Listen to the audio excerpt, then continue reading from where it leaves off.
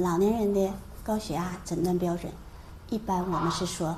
他的收缩压大于一百四十毫米汞柱啊，那么舒张压大于九十毫米汞柱，这个时候我们是考虑他有高血压了。但是有以下几种情况，就是老年人可能是在几种情况下，你怎么来判断他血压是不是存在着一个老年高血压的情况？那一种情况呢，就是这种诊室里边的诊断，让他来到医院，如果在诊室里边，他这个血压多次测量超过一百四九十毫米汞柱，这个时候我们考虑，那他是存在高血压了。那还有一种情况，那就是说他背二十四小时动态血压，那二十四小时动态血压这个时候的诊断标准，他要根据几种情况。一个是他的二十四小时的平均血压，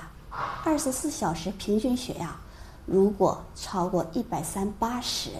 那么白天的平均血压超过一百三十五八十五，那还有一个就是这种夜间的血压超过一百二七十，那这是来评价一个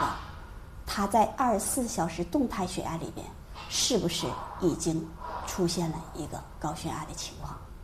还有一种情况就是他没有来医院，那他在家自测的。如果在家自测的，那他超过一百三十五八十五的时候，那就要考虑他已经有高血压存在了。当然，老年人最初如果你给他做出诊断的时候，那我们还是建议他来到医院，就是诊室里边由医生来给他判定是不是真正是出现了这种高血压的情况。